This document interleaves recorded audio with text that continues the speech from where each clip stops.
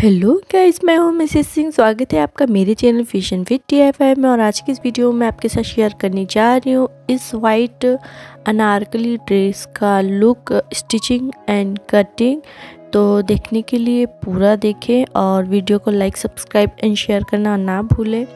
Friends, ये मैंने market से ये वाइट में चिकनकारी फैब्रिक को परचेज़ किया था।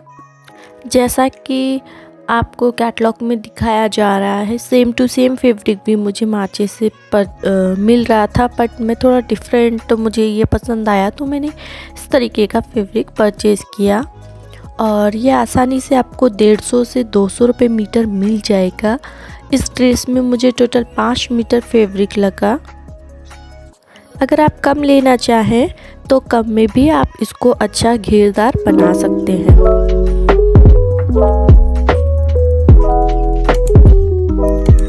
सबसे पहले हम टॉप पार्ट की कटिंग कर लेंगे। जैसा कि मैंने अपनी बाकी की वीडियोस में आपको बताया है, उसी के तरह से मैं इसका टॉप पार्ट कट कर लूँगी, क्योंकि इसके लिए मैं अपना टी शर्ट या अपनी कुर्ती का यूज़ करती हूँ, और वैसे भी अपना सही सबको पता होता है।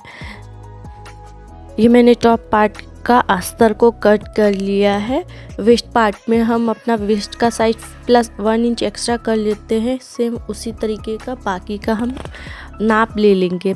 ये है इसका बैक पार्ट जो कि मैंने अगेन अपने नाप से कट कर लिया। फिर हम लेंगे कलियों को कट करने के लिए ये पूरा फैब्रिक जिसमें से बॉर्डर लेंथ को हम निकाल देंगे कट करके। क्योंकि अगर हम कलिया कट करते हैं तो उसको बाद में हम आराम से स्टिच कर सकते हैं। इससे आपका कपड़ा भी वेस्ट नहीं होगा और लुक भी लुक भी खेरदार आएगा। तो ये मैंने बॉर्डर को अलग कर लिया है।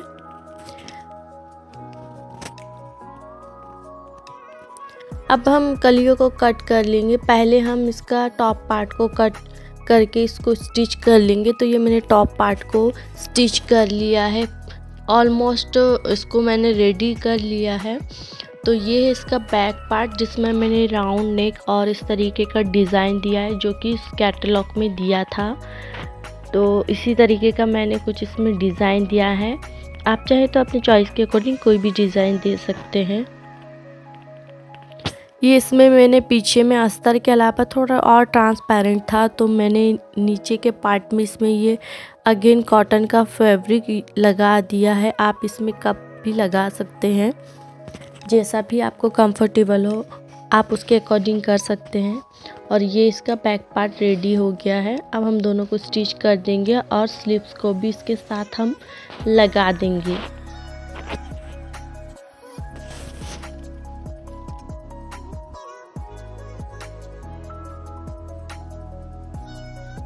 ये मेरा टॉप पार्ट रेडी हो चुका है। स्लीव्स लगा के फिटिंग करके मैंने इसको पूरी तरीके से रेडी कर लिया है। अब हम इसके बॉटम पार्ट की तैयारी करेंगे।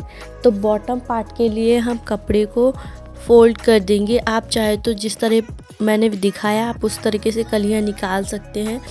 तो यहाँ पे आपकी वेस्ट में आपको वेस्ट का साइज़ निकाल के जितनी भी कलियाँ आपको रखनी है, बनानी है, आप उसमें उसको भाग दे दीजिए और एक इंच एक्स्ट्रा कर दीजिए। तो ये मैंने अपने साइज़ के अकॉर्डिंग कलियों को कट कर लिया है।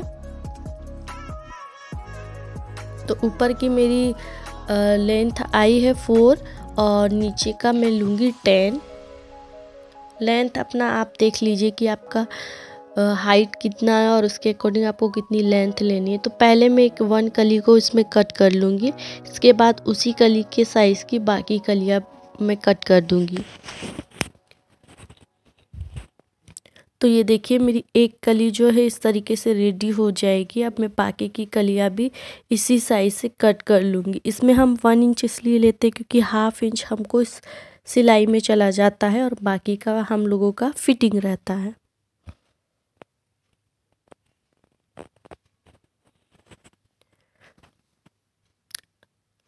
तो अब मैंने ये सारी कलियाँ ऑलमोस्ट कट कर ली है।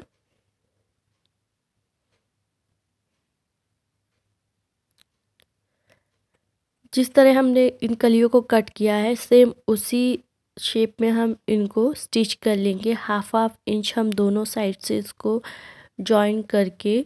इसमें सारा फैब्रिक में सिलाई कर देंगे, सारी कलियों को हम जोड़ देंगे। तो कुछ इस तरीके से मेरी सारी कलियाँ जुड़ गई हैं। इसमें जो भी पार्ट ऊपर नीचे आप उसको आराम से बाद में कट कर सकते हैं बॉर्डर लगाने से पहले। तो दोनों पार्ट्स की कलियाँ आगे और पीछे की साइड की दोनों कलियाँ जुड़ चुकी हैं। और अब हम इस कलियों को अपना टॉप पार्ट में अटैच कर लेंगे।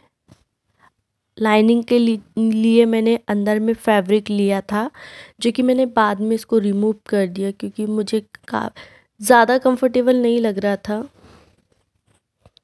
आप चाहें तो लगा भी सकते हैं, वैसे भी कॉटन फैब्रिक है तो। तो अब हम दोनों पार्ट को ज्वाइन कर लेंगे और ये बॉर्डर को मैंने लगा दिया था।